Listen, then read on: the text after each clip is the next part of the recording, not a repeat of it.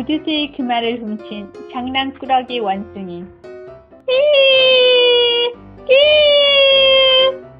갈매기가 맴도는 나루터에 고깃배 한 척이 들어왔어요. 고깃배에서는 커다란 자루를 어깨에 맹 구두쇠가 내렸어요. 구두쇠의 자루에는 금화가 가득 들어있었지요. 하하! 이게 모두 내 돈이다! 내가 고기를 잡아서 번 돈이라고! 구두쇠는 기분 좋게 집으로 갔어요. 그날 밤 구두쇠의 집에서는 밤새도록 금화를 세는 소리가 새어 나왔어요.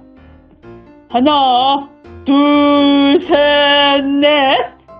구두쇠는 금화를 세고 또 세고 몇 번이나 세다가 새벽이 되어서야 겨우 잠들었어요. 구두쇠는 금화 자루를 품에 꼭 안고 새근새근 잠을 잤지요.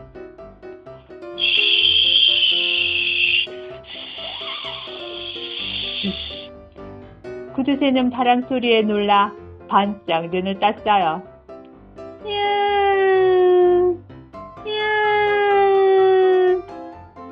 도둑 고양이 소리에도 개 짖는 소리에도 구두쇠는 깜짝깜짝 놀라 도저히 잠들 수 없었지요. 구두쇠는 날이 밝을 때까지 그마 자루를 끌어안고 안절부절 못했어요. 어떻게 하면 이 그마를 안전하게 지킬 수 있을까? 그러다 구두쇠의 머릿속에 좋은 생각이 떠올랐어요. 그래, 사람이 살지 않는 섬으로 가자. 그곳이라면 안전할 거야. 영차, 영차! 구두쇠는 작은 배에 금화 자루를 싣고 사람이 살지 않는 섬으로 갔어요. 무거운 금화 자루 때문에 배가 기우뚱 기우뚱 흔들렸지만 구두쇠는 열심히 노를 저었지요. 거센 파도를 헤치고 드디어 섬에 도착했어요. 구두쇠는 배에서 내리자마자 금화 자루를 안전하게 둘수 있는 집을 짓기로 했지요. 구두쇠는 먼저 집을 짓는데 필요한 재료들을 모았어요. 그리고 뚝딱뚝딱 집을 짓기 시작했지요. 나무를 잘라 기둥을 세우고 흙으로 벽을 만들었어요. 또 큰 나뭇잎을 따다가 지붕에 씌웠지요.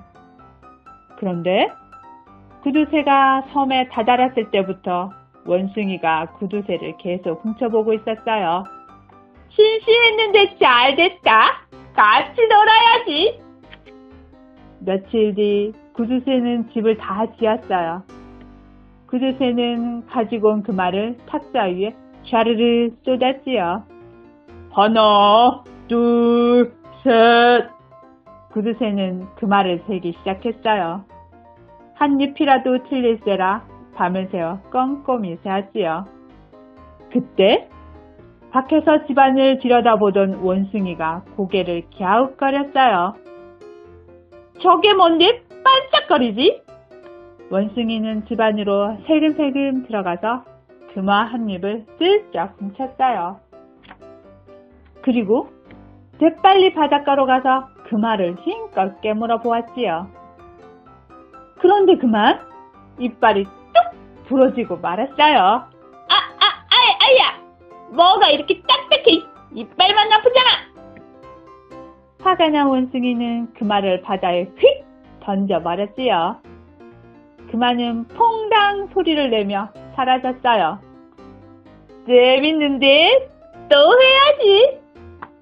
원숭이는 다시 구두쇠의 집으로 후다닥 갔어요.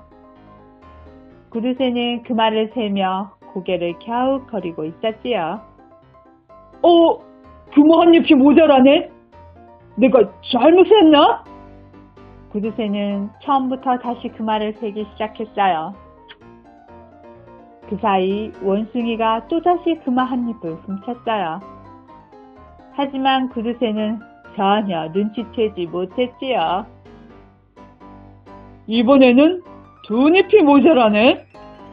사람도 없는데 누가 훔쳐갈 리는 없고 또 잘못 세웠나?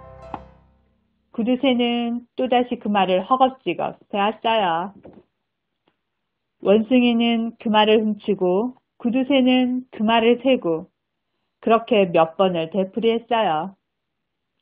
그럴 때마다 그만은 어김없이 한 입씩 줄어 있었지요. 결국 원숭이는 구두쇠의 그 말을 모두 바다에 퐁당퐁당 던져버렸어요. 그 말에 발이 살렸나? 도대체 어디로 사라진 거지? 구두쇠는 원숭이의 짓이라는 걸 모르고 이리저리 돌아다니며 그 말을 찾기 시작했어요.